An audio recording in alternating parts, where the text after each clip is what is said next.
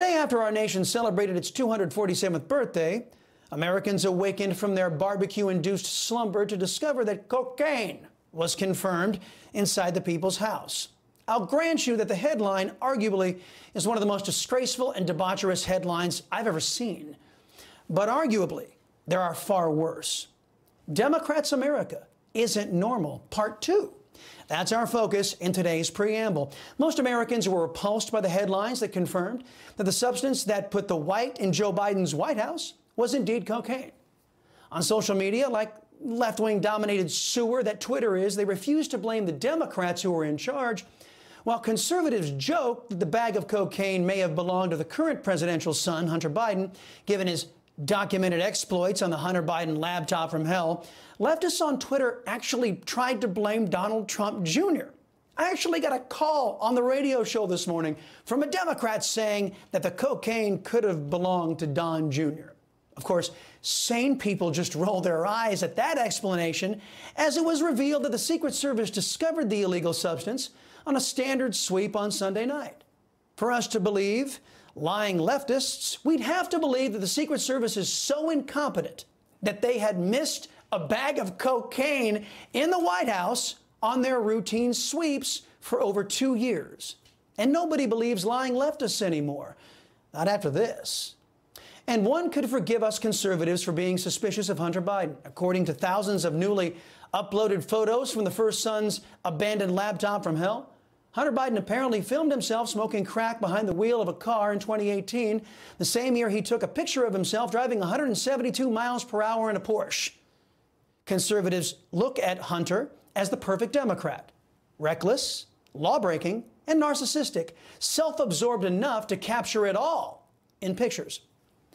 Still, some online folks are saying that these laptop pics exonerate Hunter from the cocaine incident at the White House. Clearly, says one online poster, Hunter's drug of choice is crack, not coke.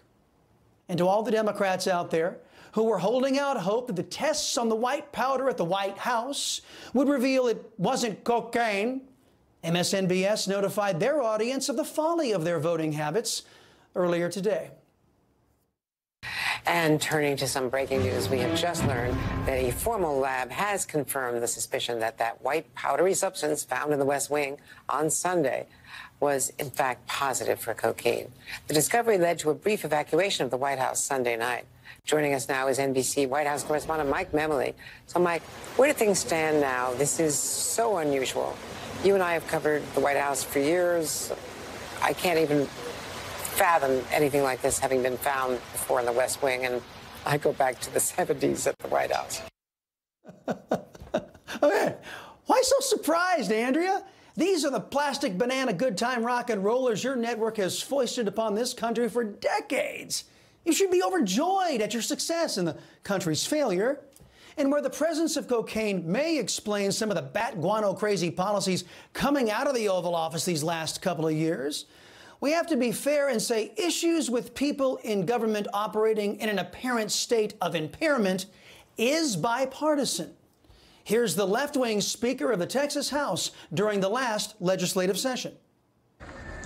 Mr. Speaker, I move adoption. Mr. Campbell send an amendment. The amendment is acceptable to the author. Is there objection to the opposite amendment? The chair has none. The amendment is adopted.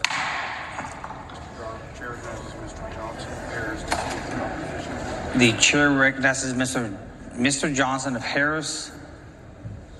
Mr. Johnson of Harris to speak in opposition to the bill. The chair recognizes Ms. Neave Criado to speak in opposition to the bill. Be careful, Texas.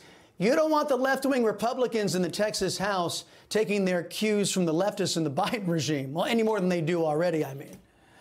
But cocaine at the White House is bad enough, but the shredding of the Constitution is worse. Here's Joe Biden defying a ruling from the Supreme Court, encouraging Americans to sign up for his illegal vote buying program, otherwise known as the Student Loan Forgiveness Program, a program the Supreme Court just deemed was unconstitutional. And by the way, the program is still there. Go to, anyway, you ought to contact us to make sure you know exactly how to qualify. Okay, and here is Joe Biden once again, channeling his inner communist, claiming America's children belong to the collective. Children are the kite strings, they're not somebody else's children, they're all our children, are the kite strings that lift our national ambitions aloft. Okay. Now, given how Hunter Biden turned out, the last thing Americans should be doing is seeking parenting advice from Joe Biden. Also, the last thing Americans should tolerate from Joe Biden is allowing his government to lay claim to our children. In fact, Joe Biden is such a hypocrite on this issue. Americans are repulsed to read reports that Biden is denying his own flesh and blood. An innocent little girl who was brought into this world because of Hunter Biden's lack of moral character. And now Joe Biden and his regime won't even acknowledge her. Nothing says devoted family man from Scranton like Joe Biden refusing to acknowledge his own grandchild. Joe Biden, your family is a mess. You can't have America's families. Here's another headline. A judge has determined that the Biden regime likely violated Americans' First Amendment rights by censoring what Democrats viewed as unfavorable views on social media over the course of the China virus pandemic. The judge called the regime's shredding of our Constitution, quote, Orwellian.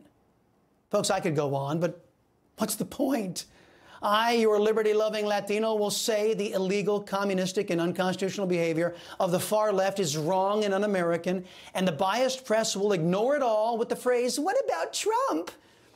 I hope at least you, my beloved audience, will recognize the nature of the people we are facing, and I hope you will dedicate yourself to defeating them and their allies and saving this nation from the Democrats' deviant dumpster fire. Folks, I guarantee you, None of this is normal.